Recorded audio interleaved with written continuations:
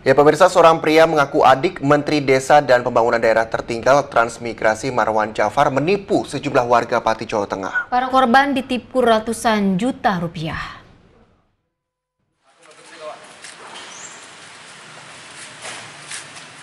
Dengan membawa sejumlah alat bukti, empat perwakilan warga desa Alosdowo, Pati, Jawa Tengah mendatangi forum wartawan guna mengadukan penipuan yang dilakukan adik kandung Menteri Desa Pembangunan Daerah Tertinggal, Abdullah Nawawi. Kepada sejumlah wartawan, keempat warga tersebut mengaku telah ditipu hingga ratusan juta rupiah. Modus yang dilakukan yakni mengiming-imingi korban untuk membuka usaha bersama. Dengan menggunakan nama besar sang kakak, Abdullah menjanjikan akan mempermudah usaha yang akan dikembangkan. Saya semua-semua kawan saya ini ditipu oleh Abdullah Nawawi, adik dari Menteri Marwan Jafar. Kira semua itu hampir 300 lebih. 300 rupiah, iya, 300 juta, juta. juta lebih. Saya disuruh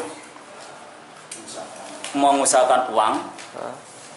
Tak usahakan pertama 25 juta diterima Abdullah Nawawi.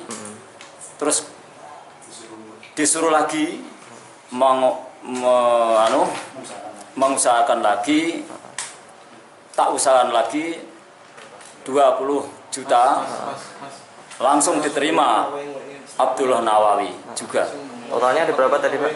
Jumlah semua 45 juta. Sampai dengan saat ini gimana Pak? Sampai saat ini tidak ada respon apa pun. Hingga kini, pelaku Abdullah Nawawi tidak diketahui keberadaannya. Warga mengaku telah mengadukan kasus ini ke kepolisian setempat. Warga berharap polisi dapat memproses kasus ini. Dari Pati, Jawa Tengah, Agus Atta Soeharto memberitakan.